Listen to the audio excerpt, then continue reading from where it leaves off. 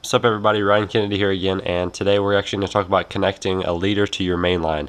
In most cases for bass fishermen, this is connecting fluorocarbon or monofilament leader to your braid, which is very popular among spinning rod anglers. Uh, just actually casting distance with the braid, and you got to get the invisibility of the fluorocarbon with your leader.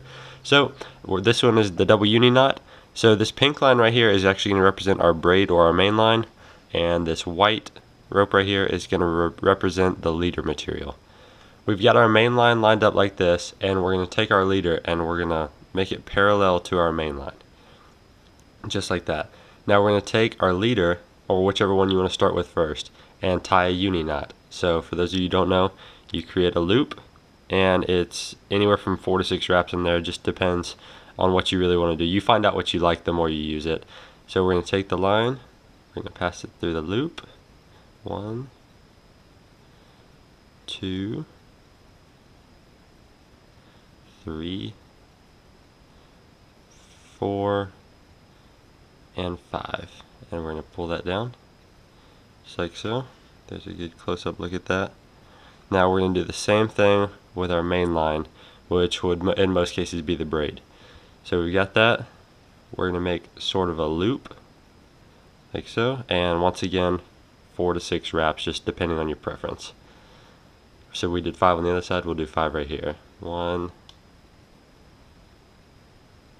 two, three, four, and five. And we're going to take that tag end, looks like this before we pull it. And we're going to slowly pull it together, like so. Not going to cinch it all the way.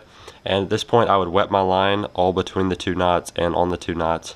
And you're going to take your main line in one hand and your leader line in the other hand and take it and slowly pull it together.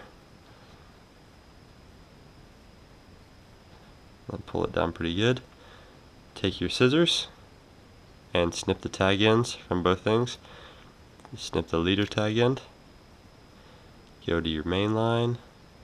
Snip its tag end.